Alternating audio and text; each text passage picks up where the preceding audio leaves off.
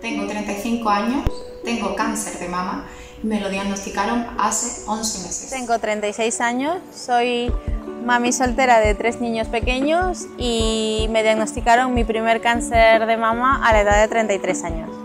Tengo 51 años y me detectaron cáncer en enero del 2021. Tengo 46 años y hace tres años me diagnosticaron cáncer de mama triple negativo. Tengo 47 años y me diagnosticaron cáncer de mama hace dos años. Tengo 51 años y en diciembre del 2016 me diagnostican de un cáncer de mama.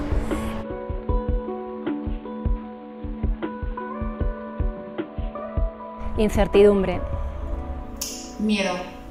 Miedo a, a morirme y solo se me venía a la cabeza la imagen de mis hijas de no podía dejarla sola.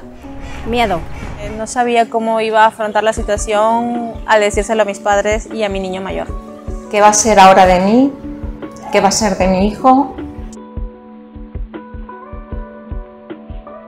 Yo les diría que busquen la forma de llevarlo ellas mismas como sientan y como les parezca en cada momento. Que no pierdan la sonrisa, que el bicho se alimenta de la pena, que no se queden ahí en la pena que sigan para adelante, que la actitud es la mitad del camino. Que sí se puede, que no tengan miedo y que mm, se refugien en algo que les guste. Que cualquier duda que tengan la pregunten a su oncólogo, todo tipo de preguntas y de dudas y que intenten mirar muy poco el internet porque a veces nos creamos un conocimiento falso. Es muy importante la prevención.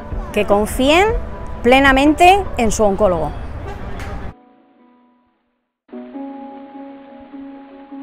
He superado el cáncer.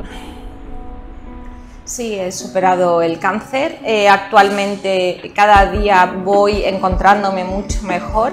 Me siento muy orgullosa de haber superado esta enfermedad y muy afortunada de haberme cruzado el camino con, con mi oncólogo y con el grupo de especialistas que la acompaña. He superado el cáncer. Me queda el tratamiento hasta diciembre de este año. Espero que para esas fechas ya pueda estar libre de, cáncer. Que realmente hoy en día estoy aquí y eso es lo importante.